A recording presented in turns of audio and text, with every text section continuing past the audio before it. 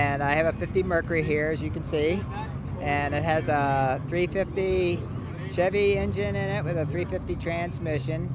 Um, it's been chopped and lowered with airbags. Uh, it has a roller uh, gear-driven cam, and uh, pretty much it has alligator interior in it. Just had the uh, interior already done. Still working on it. Still under construction. How long have you had the car? I've had the car since I bought the car back in the late 80s.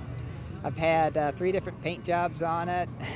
And every time I get a paint job on it, it seems like it wants to crack and shrink. The paint shrinks, and uh, so I had to have it redone. And I had ghost flames put on it. I don't know if you could see the different colors in it, but it has blue, uh, blue and gold, and uh, purple flames.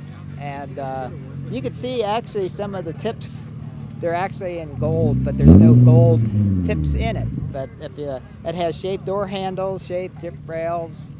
Uh, it has uh, extended headlights, and uh, actually I have uh, French tail lights in it, and uh, dual exhaust. It's a small block Chevy, 350, 350 transmission, automatic, and uh, center console and everything.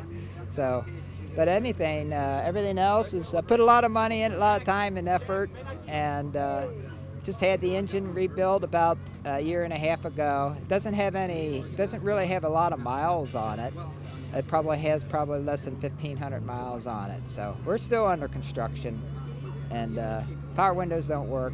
Everything's so, do you power. have any other cars? I have a 41 Willys that I'm having redone too. So uh, yeah, actually the interior is being reupholstered and just had a fresh paint job put on it, and uh, that has a LS6 engine in it with uh, a Ford nine-inch rear end, automatic, and uh, it's red, candy apple red. Uh, this is I've been up here a lot, but this is the second time I've had my 50 Mercury up here. I've never had the Willys up here because it's always under construction. I'll see you next week at Cars and Coffee.